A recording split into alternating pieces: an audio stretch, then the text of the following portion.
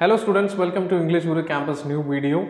Uh, so in this video we are going to discuss five common mistakes that we always make while writing, while speaking and almost it has become a common you know kind of uh, accepted mistakes uh, inside India. So anyway, let's look at those uh, five common errors that we always make. Uh, before going to the video, please subscribe to our channel to get more interesting videos like this. Uh, let's learn English together and please enable the bell icon so that you won't miss any of our videos. On to the video.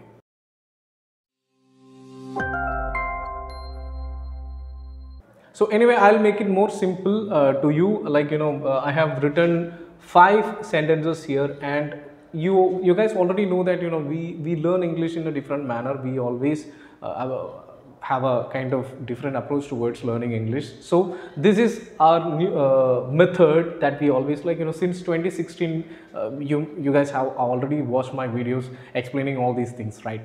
Uh, learn from the mistakes. So it is always better to write down the mistakes that we do and thereby you know start correcting yourselves. That is a good idea, and that's a psychology uh, that would benefit us, you know, in in in in, in uh, helping us to uh, correct ourselves. So let's go to learn from mistakes, and I have written five mistakes here. When we see these sentences at first glance we'll think like you know there is nothing wrong about this right? So here we'll look at the, uh, all the sentences each sentences. Okay the first sentence is that i have three childrens I have three childrens you know? Yeah it kind of sounding great. What's wrong with it? It's okay right i have three childrens no. Actually you know there is no word like children's no word like that. Okay? Children's it is children. Okay? Children. Children. I have three children. I have four children. I have five children. Whatever it is. And what is the singular of this? Child. Okay? Don't write childs okay not not child childs it is children. Okay i have three children. Okay so if we are making this mistake yes. Now we'll be careful. Okay moving on to the next one. Peoples are very nice here. It is kind of i must say that you know it, it kind of in an indian mistake. You know I, I have traveled most of the places in india.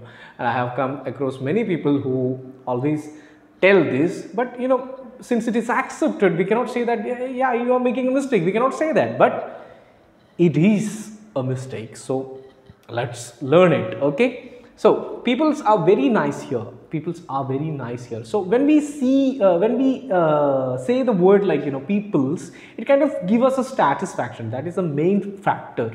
You know when we say peoples you know it's kind of satisfying right? Like children's children's children's yeah it is we are getting we are getting a feeling like you know yeah it is a plural word. Okay the, if there is no s then we have a mentality like that is that a plural?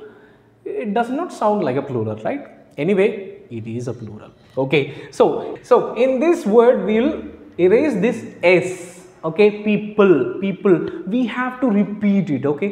People people people people. Then we'll create a mentality that you know we'll not uh, misspell the word like peoples okay? Actually people mean many persons okay? Many persons a group of you know individuals as i might say. Okay people are very nice here. So people means it's plural okay? Then third one it have many advantages. It have many advantages. Actually you know in in american english it is accepted if you say that it have you might have uh, gone through the videos of donald trump uh, joe biden or uh, barack obama. You might have seen or heard those people uh, kind of saying this but in british english it is not acceptable that if you say it have it is wrong.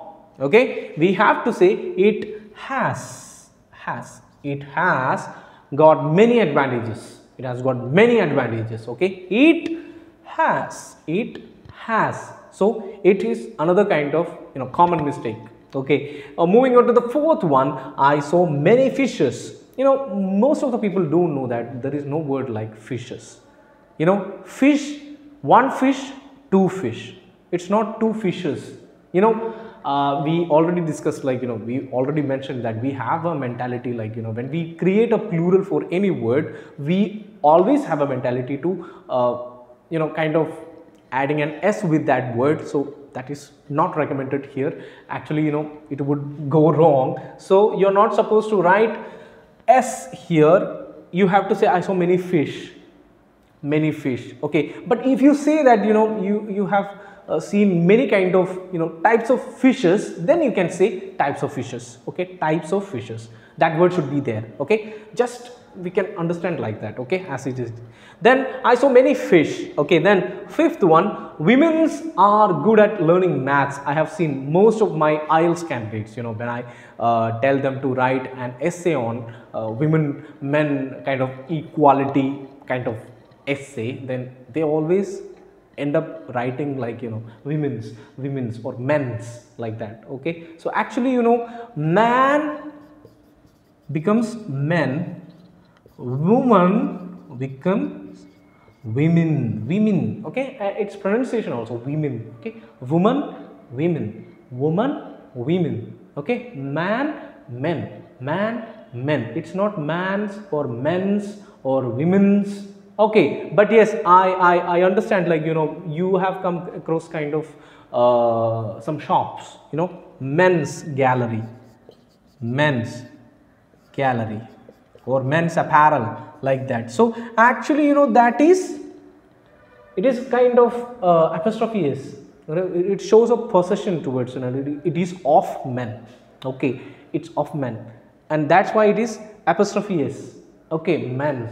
Then it is yes men's gallery. Then it is correct. But if you say that you know uh, you are denoting like uh, a group of uh, sex then it is only men okay or women.